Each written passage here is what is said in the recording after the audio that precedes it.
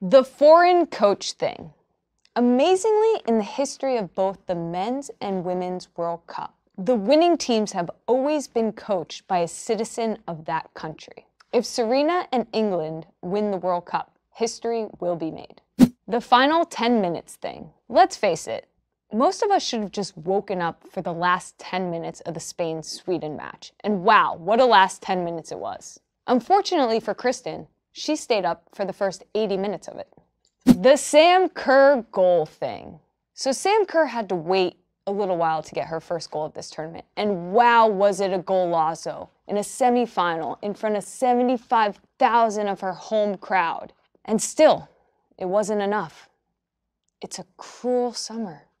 The Salma thing. For Spain's Salma Paralluelo, she will be playing in her third consecutive World Cup final. She played in the U17 final, the U20 final, and now the senior team final. She's only 19 years old. Winning is a habit. The 50 subs thing.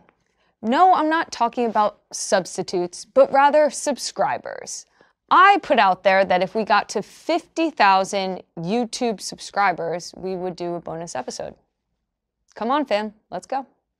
The sad thing when you win a World Cup, you get given this badge to wear on your jersey for the next four years that says, We won a World Cup. For the last eight years, the US women's national team has worn this badge. And for the first time in eight years, someone else will get to wear it. It's a sad thing.